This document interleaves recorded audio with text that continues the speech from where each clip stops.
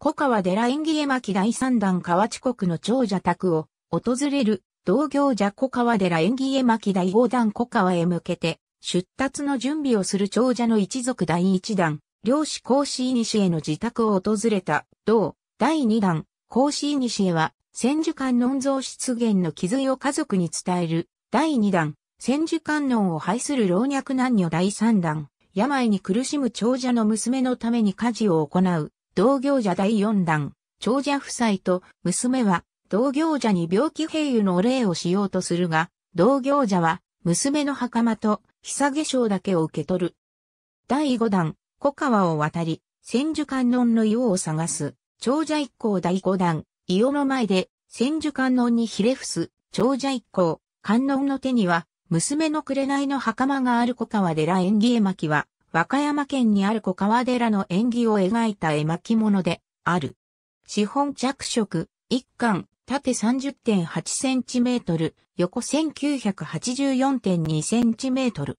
おそらく天正年間、豊臣秀吉の根頃寺焼き討ちにより理災し、監守部分と全館にわたる上下に甚だしい焦損が見られる。作者不詳で、成立は12世紀後半頃と推定されている。絵巻物の代表的作品の一つに数えられ、国宝に指定されている。現在の所有者は小川寺であるが、京都国立博物館に寄託されている。内容としては、金混じり文の言葉書き4段と絵5段からなり、前半は小川寺創建の経緯、後半は河内の長者一族が観音の霊言にあって出家する話となっている。初段の言葉書きは消失したと考えられるが、漢文体の小川寺縁起や小川寺大立とバー建立演技、阿社爆笑などから内容が推測されている。前半の物語は、木の国長軍の領主大友公子西へが、観音の気づいにより発信し、観音自らによって小川寺の本尊が出現した由来である。小川寺演技によれば法規元年の創建といい、それより先、山中での狩猟中に光を放つ地を発見した孔子西へはそこに湯を構え、少者建立と仏像安置を発願する。すると一人の同時の行者が現れて、宿を来い、その礼に仏像の建立を申し出る。行者は世に入り、7日のうちに仏像を作るので、その間は見てはならない。完成したら戸を叩いて知らせると告げ、伊予にこもる。7日目に伊予に行って、扉を開けてみると、伊予内には、東神の千手観音立像が安置され、行者の姿は見えなかった。漁師は近隣にこのことを語り、人々は皆参拝して、観音に帰依した。後半は、河内国笹原郡の長者の一人娘の病が、小川寺の千手観音のお霊言により家、一家が小川寺へ参詣して出家する霊言譚である。なお、小川寺演技等では、河内国渋川の軍馬、長谷市の助太夫のこととされており、他にも前半の物語の言葉書きが残る部分も含めて、絵巻の言葉書きと他の文献には若干の内容の移動が見られる。長者の一人娘が悪臭を放つ、皮膚病に侵され、祈祷を尽くしても回復の兆しなく3年が過ぎたところへ、同時が現れて7日間の祈祷を申し出る。千住だらにによる家事祈祷によって、娘の病は回遊し、喜んだ父母は、蔵の財宝を寄付しようとするが同時は断り、娘が幼少より肌身離さなかった久下章と、紅の袴のみを形見として受け取る。在所を尋ねられた同時は、木の国長軍の小川と答えて立ち去ったと見ると消えてしまう。次の春、長者一家は長軍に赴き小川の地を訪ねるが知る人がいない。山の方にあるだろうと言ってみると、粉を入れたような白い流れを発見し、喜んでたどると上流に硫黄を見出す。硫黄の扉を開けると輝く白檀の千手観音像が立っており、その背昔小印を結んだ手に同時に記者した久下章と袴がかかっていた。人々は同時が千手観音の化身であったと知り、皆出家した。漁師の一家は小川寺の別当となって今に伝わるという。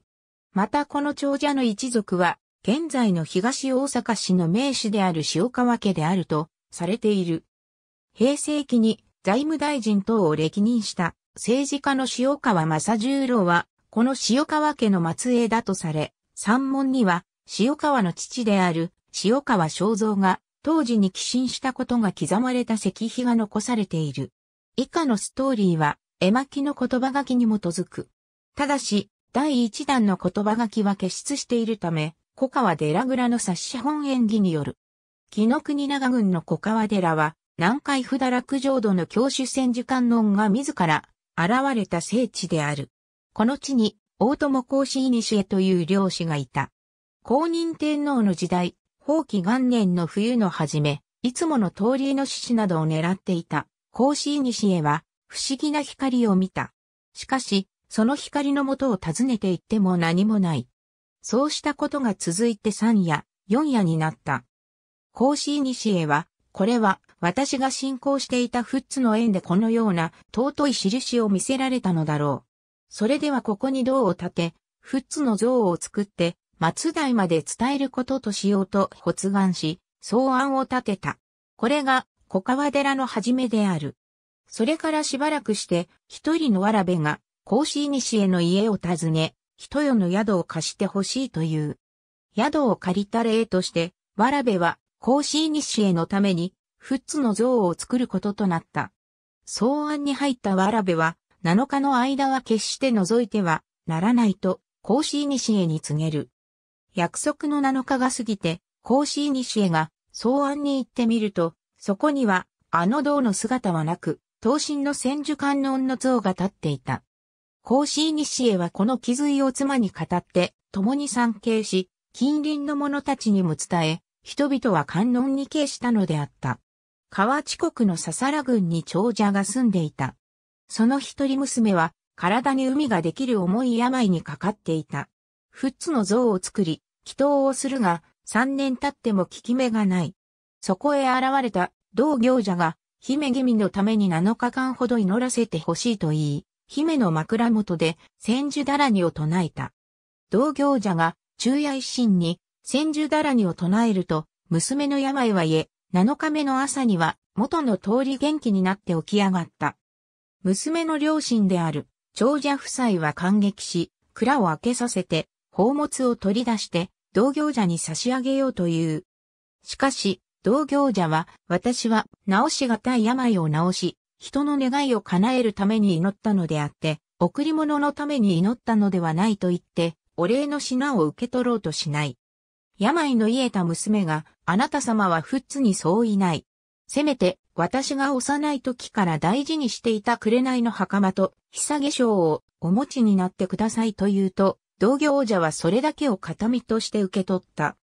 娘が、あなた様は、どこにいらっしゃいますかと言うと、同業者は、どこと言って居所は定めていないが、紀伊の国、長野郡の小川というところにおりますと言い残し、立ち去ったと見ると、忽然と消えてしまった。あくる年の春、長者の一行は、木の国長郡小川を目指して、旅に出た。小川はどちらかと道行く人に聞いても教えてくれるものがない。すると、山のふもとに、粉を流したような白い水の流れる川があった。その川に沿って登っていくと、北条の世があった。